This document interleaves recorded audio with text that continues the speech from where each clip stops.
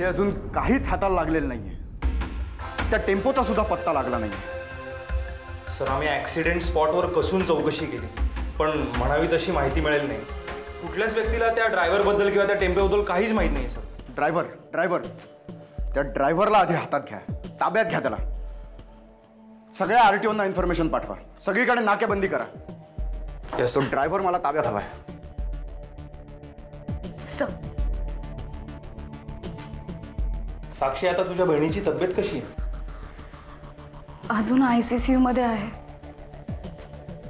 प्रयत्न चालू आहेत डॉक्टरांचे. मग तू इथे का आली आहेस तू हॉस्पिटलमध्ये असायला हवंस.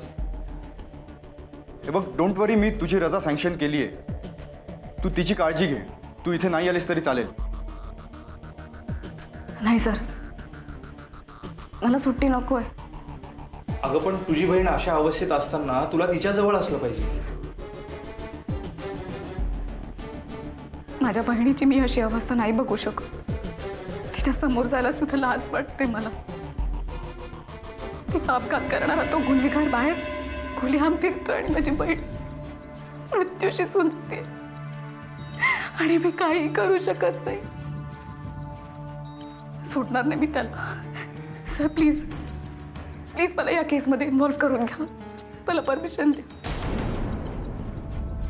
बघ, साक्षी आम्ही आमच्या परीने प्रयत्न करतोय आम्ही माहिती गोळा केली आहे बऱ्यापैकी. सर पण प्लीज मला या केसमध्ये इन्व्हॉल्व करून घ्या कारण त्या गुन्हेगाराला मला पकडायचंय. माझ्या बहिणीच्या समोर जायची लाज वाटते मला कारण मी त्याला पकडू शकत नाही.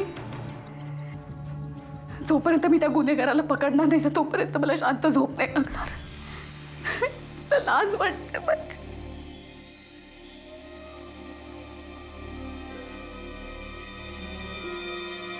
साक्षी.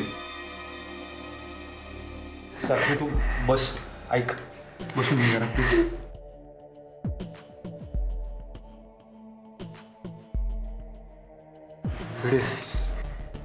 साक्षी पाणी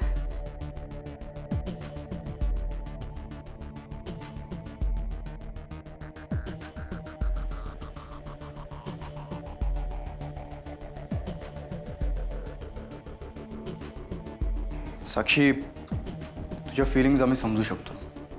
तुझी मनस्थिती काय असेल याचा आम्हाला अंदाज आहे. हे बघ आम्ही आमच्या परीने पूर्ण प्रयत्न करतोच आहे.